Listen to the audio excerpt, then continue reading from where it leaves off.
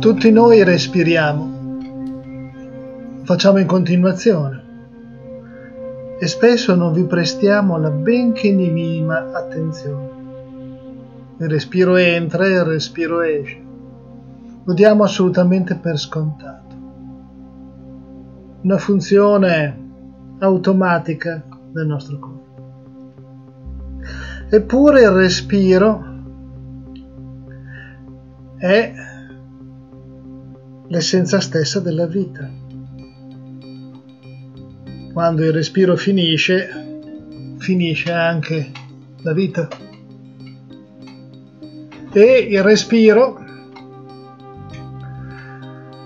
i greci lo chiamavano pneuma, è anche il respiro vitale, il soffio vitale, l'anima lo spirito è sia il respiro fisico sia il respiro interiore, pneuma. Non per nulla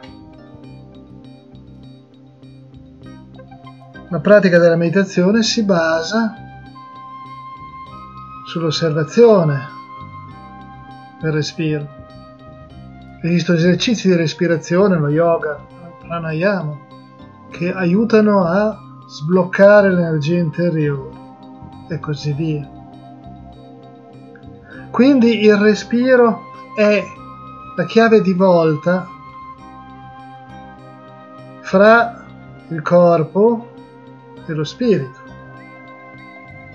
Tradizione tibetana si parla di corpo, parole e mente che noi traduciamo con parola sarebbe lung, che è il corrispettivo di pneuma, cioè energia vitale.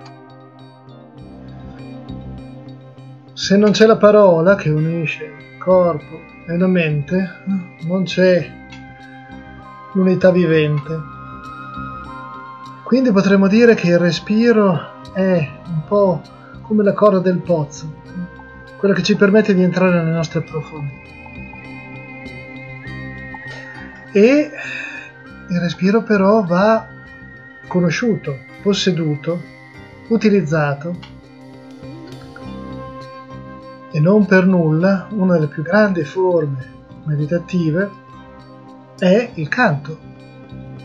Il canto dei mantra nella tradizione orientale dei sutra, il canto gregoriano, il canto dei salmi, nella tradizione cristiana canto bizantino anche, sono tutte forme di canto sacro in cui il giusto atteggiare del corpo e il giusto uso del respiro ci porta a uno stato di coscienza più elevato. Spesso noi non prestiamo attenzione, come dicevo, al nostro respirare, e spessissimo non siamo neanche in grado di cantare nel modo giusto, perché il respiro non fluisce in profondità, è un canto solo di gola, perché il respiro sia funzionale, deve essere profondo, addominale. E attraverso questo prof- respiro profondo, addominale, noi riusciamo anche a fare vibrare tutto il nostro corpo. Quando, per esempio, intoniamo un canto gregoriano, un alleluia, un exultet, un te deum, oppure quando semplicemente anche recitiamo un mantra semplice anche come Om deve partire dalle profondità e fare vibrare tutte le energie del corpo. Solo in quel modo il mantra, il canto, diventa veramente costruttivo.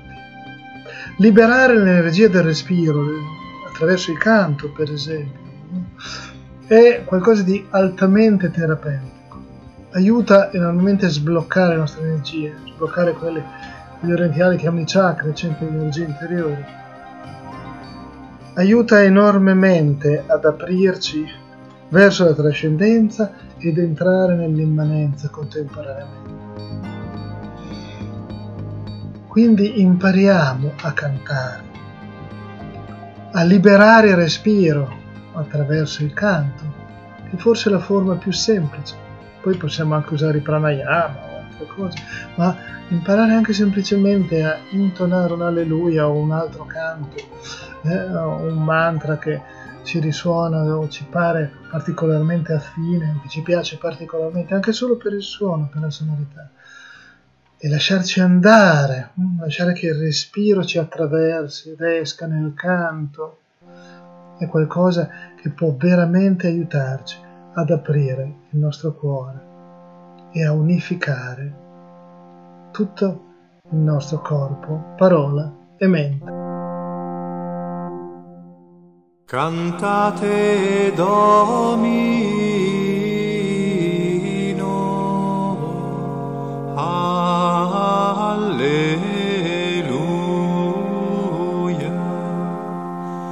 Cantate Domino,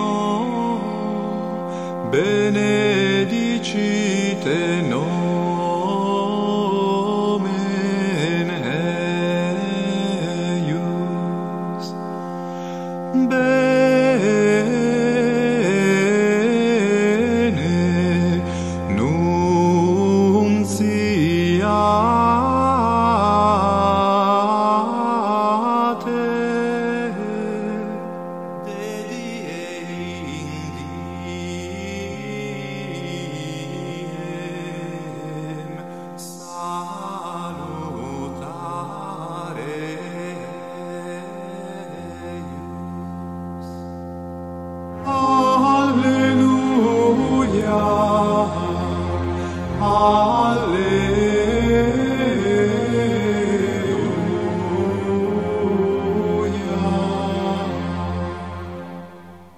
Cantate Domino,